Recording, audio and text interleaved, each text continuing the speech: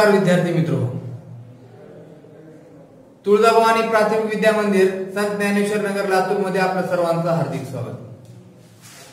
तर आज आपण मराठीतील पान क्रमांक एकोणचाळीस वरील परिसर समजून घेऊया हा घटक उपघटक अभ्यासणार आहोत. यामध्ये तुम्हाला एक चार्ट दिसते. चार्टकडे बारकाईने निरीक्षण करा. त्या चार्टमध्ये काही पक्षी प्राणी यांचे चित्र त्यांच्या अवयवाचे चित्र दाखवलेले आहेत. आपल्याला त्या अवयवाचं नाव लिहायचंय त्यानंतर हा अवयव कोणाचा आहे? त्याच्या घराचे नाव आणि त्यांचं खाद्यान्न. हे आपल्याला तिथं भरायचं तर आता पाहिल्याप्रमाणे चार्टमध्ये आपल्याला इथे काही चित्र काढलेलं नाही मी. तर याची माहिती भरत असताना थोडक्यात सुरुवातीला आपल्याला चित्र दाखवलेलं आहे एका कोंबड्याचं. लक्षात आलं? तर त्या कोंबड्याच्या चित्रामध्ये आपल्याला त्याचा डोळा दाखवलेला आहे. म्हणजे त्याच्या अवयव काय आहे इथं? कोंबड्याचा डोळा. डोळा करा डायरेक्ट? म्हणजे या चित्रामध्ये आपल्याला डोळ्याचं चित्र दाखवलेलं आहे की कोंबड्याचे डोळे कशा प्रकारे असतात. या जे काही चित्र दाखवले वेगवेगळ्या अवयवाचे किंवा वेगवेगळ्या पक्ष्यांचे प्राण्यांचे हे आपल्या सर्वांना माहिती आहे. कोंबडा पोपट घोडा गाय यांची आपल्याला सविस्तर माहिती आहे किंवा आपण पाहिलेली आहे सर्वांनी. आणि मग यातील कोंबड्याचा डोळा ह्या पहिल्या चित्रामध्ये दाखवलेला आहे. तर हा डोळा त्या डोळा हा जो काय अवयव आहे हा कोणत्या पक्षाचा आहे कोणत्या प्राण्याचा आहे तर तो कोंबडा. म्हणजे आपल्याला ज्या प्राण्यांचं दिलेलं आहे अवयव त्या प्राण्यांचं नाव इथं लिहायचंय. त्यानंतर त्या प्राण्यांचा कोणता अवयव दिलेला आहे ते इथं लिहायचंय. आणि नंतर तो प्राणी म्हणजे तो तो पक्षी जो आहे कोंबडा तर तो कोंबडा कुठे राहतो? त्याच्या घराचे नाव. कोंबडा कुठे राहतो? तो खुराड्यामध्ये त्यानंतर शेवटी आहे त्याचं अन्न. बघा ज्या वेळेस कोंबड्याविषयी माहिती लिहितोय आपण कोंबड्याचा अवयव कोणता आहे त्या कोंबड्या त्या प्राण्या पक्षाचं नाव काय आहे तो त्याची राहण्याची जागा आणि त्याचं अन्न. हे सगळं एका लाईन मध्येच कंप्लीट करायचे आपल्याला. तर कोंबड्याचं अन्न जसं की विविध प्रकारचे धान्य मग त्यामध्ये तांदूळ गहू हे त्याचं अन्न आहे. त्यानंतर दुसरं चित्र आपल्याला दाखवलेलं आहे पोपटाचं. लक्षात आलं? तर त्या चित्रामध्ये पोपटाची चोंच दाखवलेली आहे आपल्याला. म्हणजे त्या अवयवाचं नाव. पोपटाची चोंच आहे. चोंच दाखवलेली आहे. ज्याद्वारे तो त्याचं खाद्यान्न वगैरे खातो ती चोंच दाखवलेली आहे. त्यानंतर तो चोंच दाखवणारा पक्षी जो काय आहे त्याचं नाव काय? किंवा ही चोंच कोणत्या? हा चोंच असणारा अवयव कोणता पक्षी आहे? ही जर पोपट लिहायचंय आणि पोपट कुठे राहतो? घरट्यामध्ये राहतो. पोपट राहण्याचं ठिकाण. तो कुठे राहतो? घरट्यामध्ये राहतो. पोपटात अन्न फळे. विविध प्रकारची फळे पोपट खात असतो. याची आपल्याला माहिती आहे. म्हणजे पान क्रमांक एकोणचाळीस वरचा जो तक्ता दाखवलेला आहे त्या तक्त्यामध्ये हे सविस्तर प्रत्येकाने कंप्लीट करायचे पूर्ण करायचे लिहायचंय. जर व्हिडिओ पाहत पाहत हे तुम्ही ते कंप्लीट करायचे पूर्ण करायचं आहे त्यानंतर आहे त्यानंतर चित्र दाखवलेलं आहे पोपटाच्या नंतर एका घोड्याचं.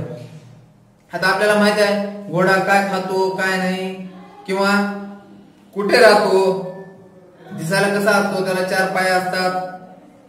त्यामुळे तिथे त्या चित्रामध्ये आपल्याला पाय वगैरे शेपटी वगैरे काही दाखवलेली नाही. तर त्या चित्रामध्ये घोड्याचे कान दाखवलेले आहेत आपल्याला. तर तिथे घोड्याचा कोणता? कान या अवयवाचं चित्र दाखवलेलं आहे. आणि कान हा अवयव दाखवणारा प्राणी कोणता आहे? घोडा. घोड्याच्या कानाविषयी तिथे चित्र दाखवलेलं आहे. त्यानंतर घोडा कुठे राहतो? जसं कोंबडी खुराड्यात राहते. पोपट घरट्यामध्ये राहतो तसा घोडा कुठे राहतो? तबेल्यामध्ये राहतो. आणि त्यामुळं घोड्याच्या घराचे नाव तबेला. ही. आणि घोड्याचं खाद्यान्न. आपल्याला माहितीच आहे घोड्याचं खाद्यान्न काय? चना हरभरा. म्हणजे अशा प्रकारे विविध प्राण्यांची माहिती त्यांचं घर त्यांनी कुठे राहतात? प्रत्येक प्राण्यांचं विशिष्ट प्रकारचं घर असते. राहण्याचं ठिकाण हे वेगवेगळं असू शकते. त्यानंतर त्यांचं खाद्यान्न पण वेगवेगळं असते. त्याचबरोबर त्यांच्या प्रत्येक अवयवाचे कार्य हे वेगवेगळे असतात. हे आपल्याला इथून सांगितलेलं आहे. म्हणजे आपल्या परिसरात जे काही प्राणी दिसतात आपल्याला विविध प्रकारचे आपल्या आजूबाजूला आपल्या सभोवताली जे काही प्राणी दिसतात त्यांचे विविध अवयवांची माहिती आपणास असायला हवी आहे. त्याचबरोबर ते कुठे राहतात ते काय खातात त्यांचा सांभाळ कोण करतो असेही काही प्राणी जसे की शेळी गाय म्हैस यांचं खाद्यान्न वेगळं असतंय त्यांना सांभाळणारे व्यक्ती वेगळे असतात. आणि मग अशा प्रकारचे विविध प्राणी पक्षी या आपल्या परिसरात जे काही सहजरित्या आपल्याला सापडतात किंवा दिसतात अशा विविध प्राणी पक्ष्यांची माहिती आपणास घ्यायची त्यानंतर शेवटी दिलेला आहे गाय. तर आपल्या सर्वांना माहिती आहे गाय म्हैस बैल यांच्या शिंगाविषयी माहिती आपल्याला शिंग पाहिलेली आहेत आपण. तर गाईला अशी जी काही दोन शिंग असतात त्या शिंगांचा चित्र दाखवलेला आहे. तर बघा ती काय शिंगे. गाईच्या कोणत्या फोटो दाखवलेला आहे? शिंगांचा दाखवलेला आहे. तर त्या शिंगामध्ये गायचे शिंगे दाखवलेले आणि ते काय? प्राणी कोणता आहे? गाय. प्राण्यांचं नाव. ते चित्र कशात दाखवलंय? त्यांच्या कोणत्या चित्र दाखवलंय? ते इथे लिहायचंय प्राण्यांचं नाव इथे. अवयवाचं नाव इथे प्राण्यांचं नाव इथं. त्यांच्या घराचं नाव. इथे लिहायचे पुढे. तर आता ते घराचं नाव लिहित असताना आता गाय कुठे राहते? जसं कोंबड खुराड्यात राहतं पोपट घरट्यात राहते त्यानंतर घोडा तबेल्यात राहतं तसं गाय काय असते गोठ्यात राहते. आणि मग गायचं खाद्यान्न. आपल्या सर्वांना माहीत आहे. गाय म्हैस बैल यांचं खाद्यान्न आपण सहजरित्या पाहिलेलं आहे बरेच वेळेस. गवत.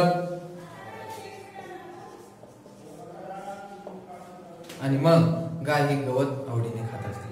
म्हणजे अशा प्रकारचे विविध पक्षी आणि प्राणी जसं तुम्हाला इथे दाखवलेलं आहे पोपट कोंबडा घोडा गाय या चार प्राण्यांविषयी चार पक्ष्यांविषयी आपल्याला माहिती दिलेली आहे. त्याचबरोबर इतर प्राणी इतर पक्षी जे काही तुम्हाला आजूबाजूला तुमच्या परिसरात आपल्या आपल्या परिसरात जे काही प्राणी पक्षी दिसतात याशिवाय यांची पण माहिती आपल्याला गोळा करायची आणि हे पुस्तकात पेज नंबर एकोणचाळीस वर पूर्ण करून वहीमध्ये तुम्हाला स्वतंत्र वहीमध्ये इतर चार प्राण्यांची माहिती अशा प्रकारे कंप्लीट करायची त्या प्राण्यांचं अवयवाचं नाव त्या प्राण्यांचं नाव त्यांचं राहण्याच्या घराचं नाव त्यांचं अन्न खाद्यान्न.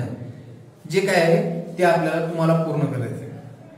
तर अशा प्रकारे आज आपण इयत्ता दुसरीतील मराठी विषयातील परिसर समजून घेऊया. हा उपघटक उपघटक अभ्यासलेला आहे. या पुढील व्हिडिओ आपण पुढील तशकेत पाहणार आहोत. तोपर्यंत